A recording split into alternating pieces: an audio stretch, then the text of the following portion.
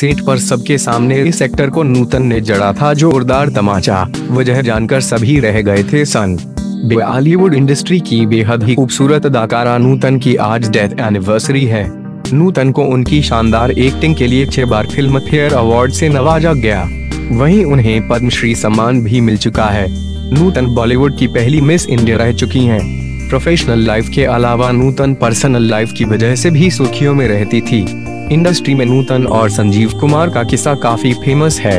आइए आज इस खास मौके पर जानते हैं उस किस्से के बारे में। नूतन एक फिल्मी परिवार से ताल्लुक रखती थी। उनके पिता कुमार सेन समर्थ डायरेक्टर थे, वहीं उनकी माँ शोभना सामर्थ फ़िल्म एक्ट्रेस थी। इसके अलावा उनकी बहन तनुजा भी सफल एक्ट्रेसेस में से एक रही है।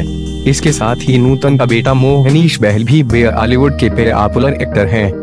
बता दें कि आज भी नूतन और संजीव कुमार का एक किस्सा इंडस्ट्री में काफ़ी फ़ेमस है। नूतन ने फ़िल्मों में सफलता पाने के बाद नेवी ऑफिसर रजनीश बहल से शादी कर ली थी।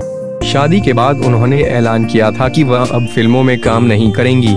लेकिन बेटे मोहनीश बहल के होने के बाद वापस से उन्हें काफ़ी शानदार रोल मिलने लगे। वहीं नूतन इन फ़िल्मों को मना नहीं कर पाई साठ के दशक में उनकी और संजीव कुमार की जोड़ी का लोगों ने खूब पसंद किया था। उन दोनों की केमिस्ट्री को देखते हुए दोनों के बीच अफेयर की खबरें आने लगी। एक दिन जब नूतन सेट पर पहुँची, तब उनकी नज़र एक न्यूज़पेपर पर पड़ी। तब वह गुस्से से लाल होगी।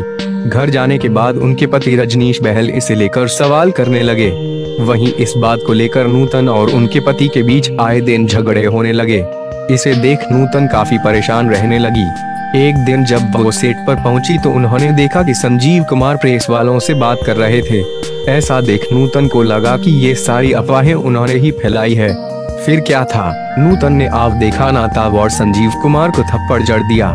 ये नज़ारा देखने के बाद सेट पर मौजूद सभी लोग सन रह गए। किसी को कुछ समझ नहीं आया था। बता दें कि इस बात का ज़िक्र उन्नीस सौ बहत्तर में एक मैगजीन में भी किया गया है। नूतन ने बावन साल की उम्र में कैंसर की वजह से दम तोड़ दिया था।